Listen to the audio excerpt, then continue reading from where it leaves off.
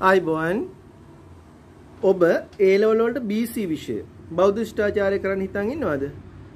චුට්ටක් බලන්න මං BC මිස් කෙනෙක් හම්බෙලා අහපු මේ කතාවට අහුම්කන් දෙන්න.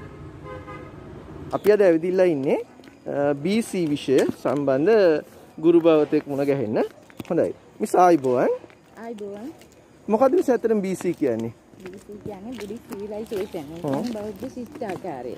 හොඳයි. එතකොට මිස් මොකක්ද මේ ඉගෙන ගන්න තියෙන ඒ ලෙවල් වල?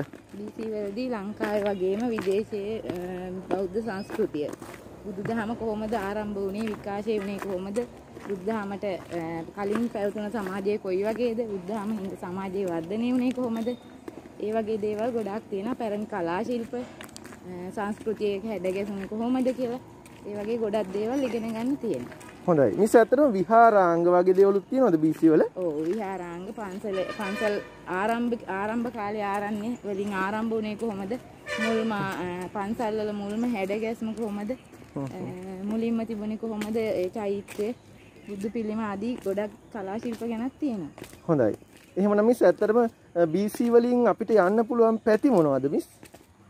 BC වලින් ඉතින් සමාජයේ යහපතක් කරන්න පුළුවන් අපිට සමාජයේ ආගමික දියුණුවක් ඇති කරන්න පුළුවන්. සමාජයේ යහපත් පුරවැසියෝ හදන් නිර්මාණය කරන්න පුළුවන්.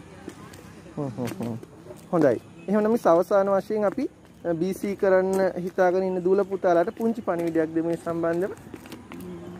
BC කියන්නේ බෞද්ධ ශිෂ්ටාචාරය කියන්නේ හොඳ විෂයක්.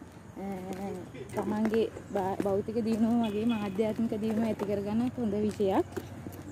ඒකෙන් තියෙන අනිත් අය වගේ සමාජයේ දැන් පවතින සමාජයේ දැහැන් බවින් අඩු එකක්.